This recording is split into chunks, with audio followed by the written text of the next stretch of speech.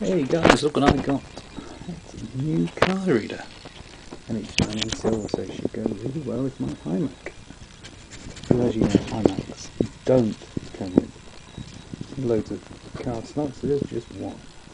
And so I suppose it's not a memory stick and it's not the one I need. Anyway, this should do. And it sort of quite matches well with the, the base and the bottom monitor, so that'll be cool. con el, con.